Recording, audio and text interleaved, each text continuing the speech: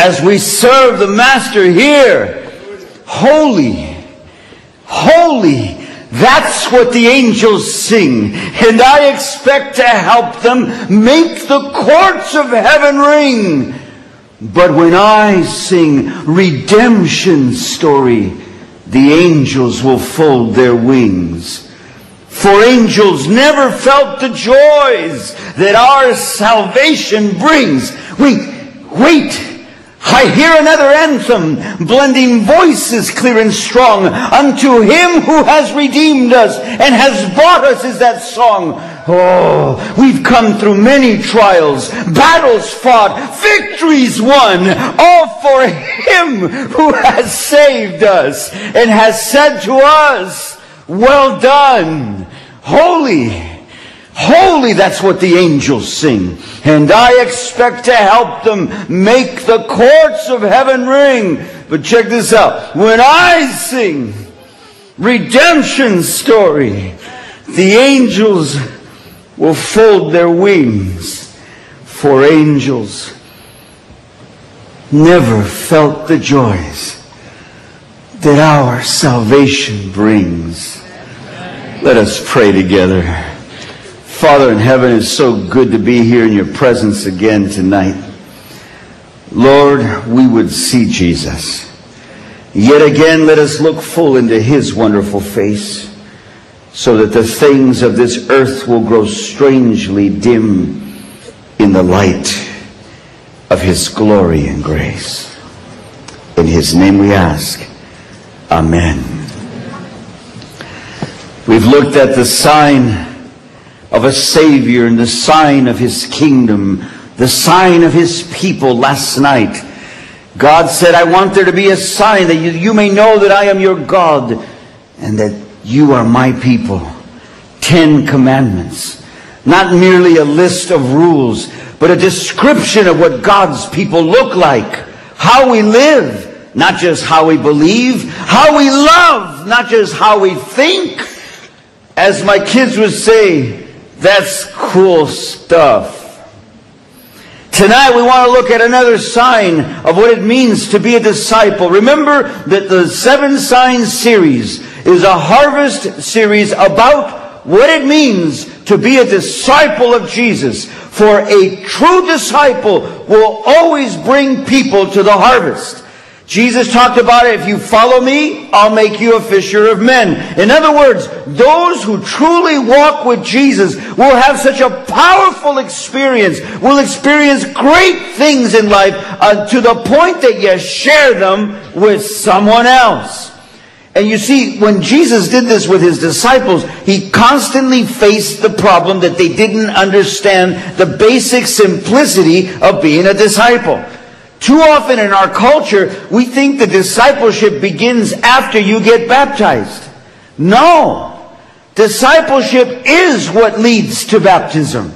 When you begin to walk with Jesus, we saw that in the sign of a Savior. You discover that He is your Savior. He forgives you for your sins. The sign of His kingdom, that you are somebody who's going to grow in grace now and learn great and wonderful truths from Scripture. And then we saw last night the sign of His people, that you now have a way to understand what life is about, not just rules. It's a definition of what it means to be a son or daughter of God. A disciple who is growing then can also understand the sign of His mercy mercy.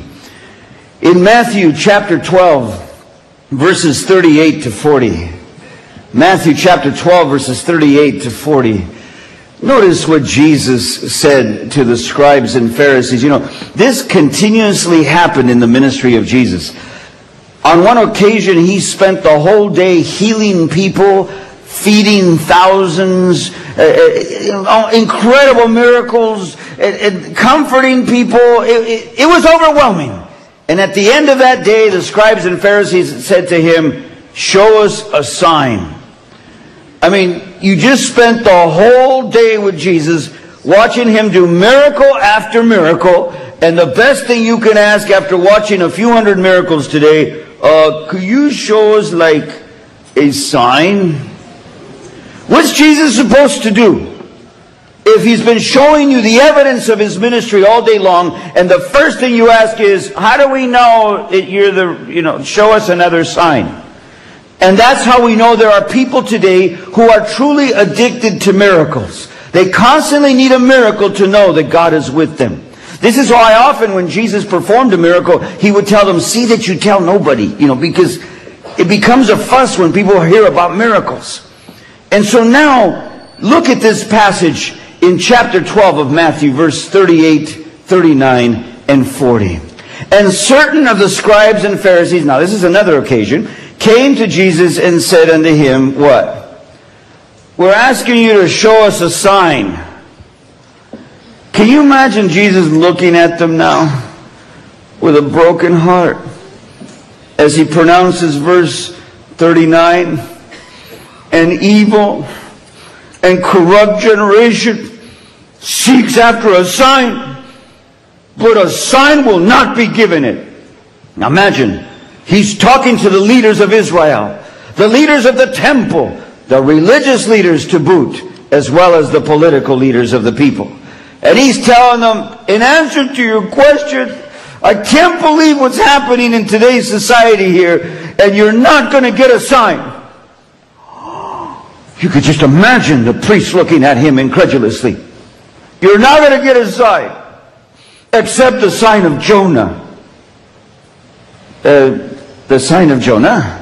You know, when I first read this passage as, as, as a kid a few years ago, only a few, I remember the young people are not buying it at all.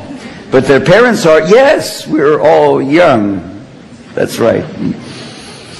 You, you, see, when I learned this passage as a kid, I remember, oh, the sign of Jonah. Yeah, amen.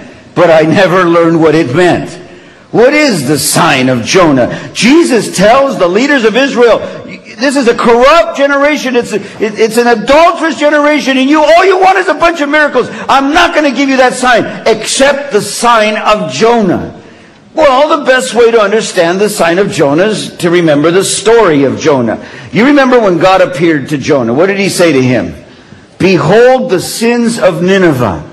Just like with Sodom and Gomorrah, Nineveh had become so sinful, so corrupt, so beyond any human comprehension of evil that God, you know, the wages of sin is death. There are times in history that, that the death came directly because of the sin.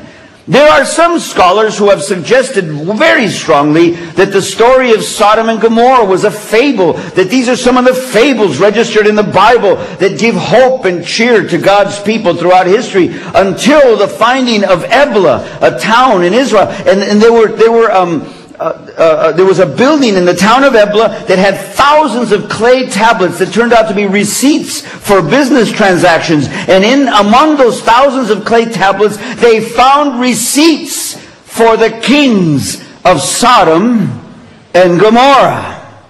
So it's not a fable. Sin does corrupt. Sin does destroy. And sin does kill. The wages of sin is death. And Nineveh was in the same position. And God calls on Jonah.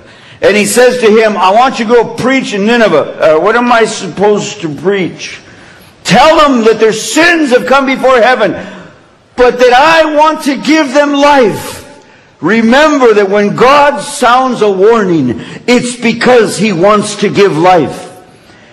I'm standing in the state of Florida in the United States of America. In, the, in less than the last year, you have experienced how many hurricanes? One, two, three, four.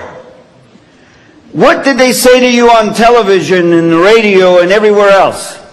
This is a hurricane warning.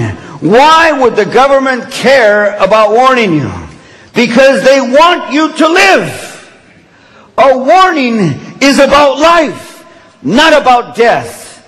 You have the option to live. And in this room, I have dear friends who lived in Homestead after Hurricane Andrew. They found nothing left of their town, much less their house.